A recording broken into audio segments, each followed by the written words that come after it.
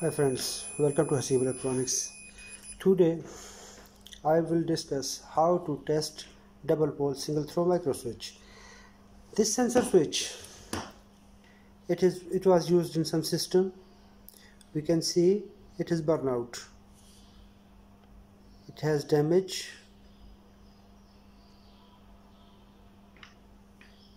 We can see it is damaged. So I will show you how it is working physically it have four points. If we see normal close these two points are normal close and these two are normal open NO and NC these are normal closed. When this switch in this condition these two points are closed this point is closed with this one.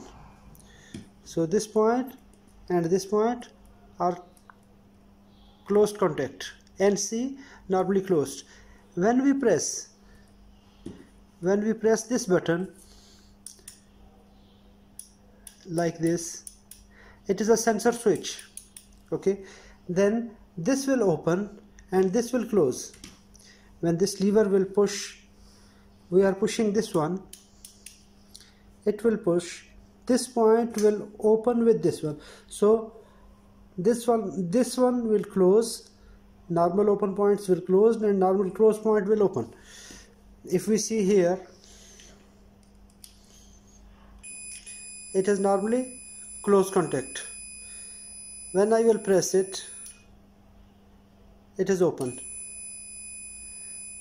In normal condition in normal condition this one is open and this one is open.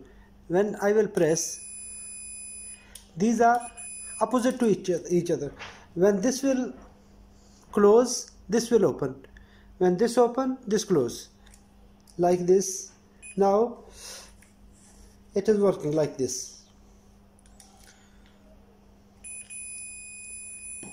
When I will press this one these two point will open from here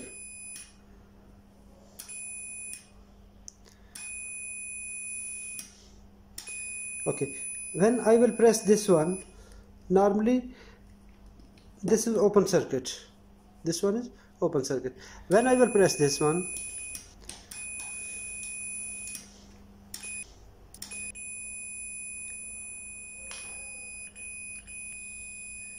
when I will press this one this will close.